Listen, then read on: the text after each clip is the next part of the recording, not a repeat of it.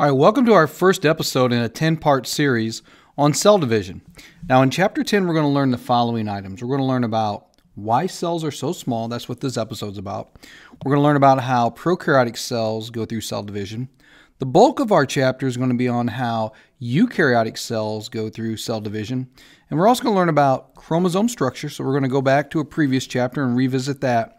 And we're also going to learn how a cell controls its growth and how cancer can be caused when those growth regulations go out of whack. But let's learn about how cells are so darn small. So small, we have to use a microscope to look at them. Well, both of the things that you see here on your screen basically deal with how far away the parts of the cell are from the cell membrane. Now, if you remember back in chapter 7, when we talked about how things will diffuse in and out of the cell, that's what we mean. We need to make sure that all organelles, like the nucleus, the mitochondria, ribosome, etc., they can't be too far away from the cell membrane because nutrients need to get in and out of the cell, and the cell needs to be able to get rid of waste and whatnot. Okay, so that's what these two on your screen are about. Okay, so what we're talking about here with DNA overload is there's only so much DNA that can be described, and therefore only so much mRNA can be made. And uh, obviously, if you remember from chapter 13, that that mRNA needs to leave the nucleus and go out to a ribosome so it can be translated. Well, if the cell is really big, think of like big as a baseball. There's no way that a teeny tiny nucleus can create enough mRNA to feed the bazillions of, of ribosomes that would be in that cell. So, if the cell is small, there'll be just the right amount of ribosomes to go with the amount of uh, RNA transcripts that come from the nucleus. Now, in some cells that are real long, for example, like muscle cells, let's write this in here. So, like skeletal muscle cells, they get around this, even though they can be real long. Like, for example, a cell can be from from your hip all the way down to your knee, like one of those uh, uh, leg muscle cells.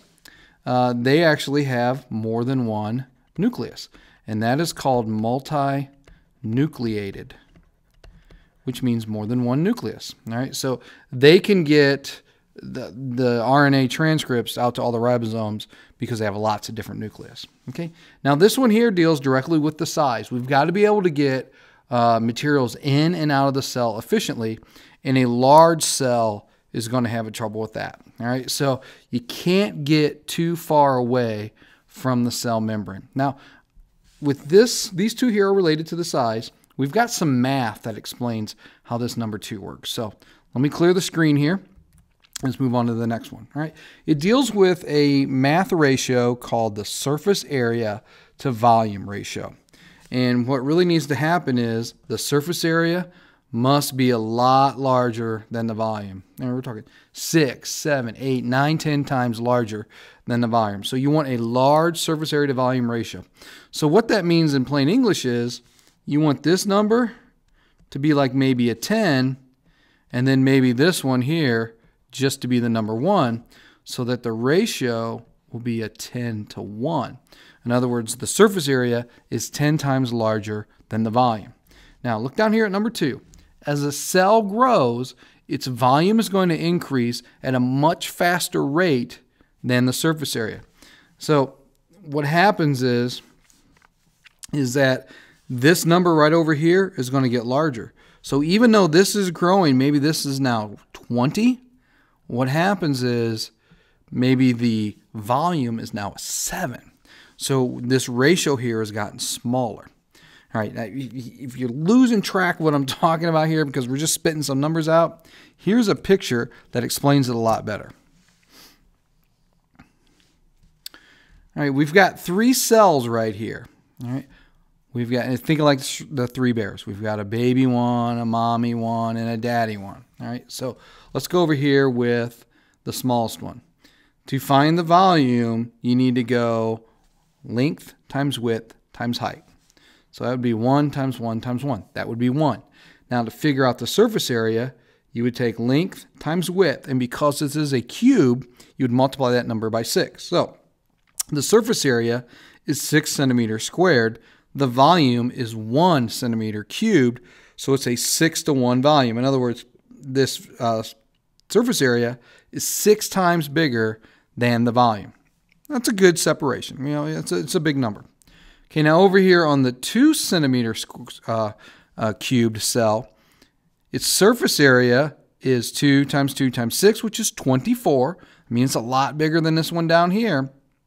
But its volume is now 2 times 2 times 2, which is 8. So we have a 24 divided by 8, which comes down to a 3 to 1 volume, to, uh, or 3 to 1 surface area to volume ratio. So this number's not as big as this one. And now we go over here to an even larger cell where it's 3 by 3 by 3.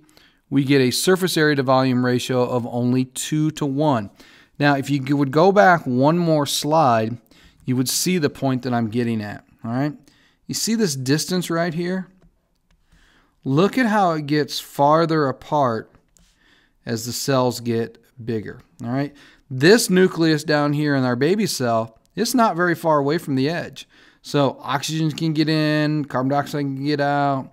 Uh, information from this nucleus can move around to a different ribosome. Over here in the in the medium-sized cell, we've got a lot more distance. It's going to take a lot of time for this stuff to diffuse around the cell. And then over here, now you can see the big difference in our very large cell. This is a huge amount of space. So things from the nucleus is going to take more time to get to the corners of the cell, where over here it becomes much more, more efficient. All right, so what we want is we want a large surface area compared to the volume.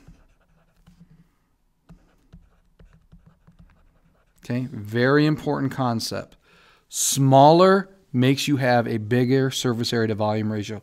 It seems kind of kind of weird to say smaller is bigger, but in this case, when we're talking about this ratio, that is certainly the case. So a small cell has a huge advantage over a large cell on getting things moved about it efficiently.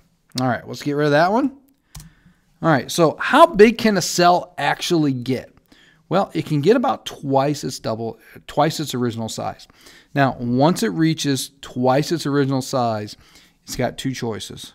Number one, it can simply stop growing and live happily ever after.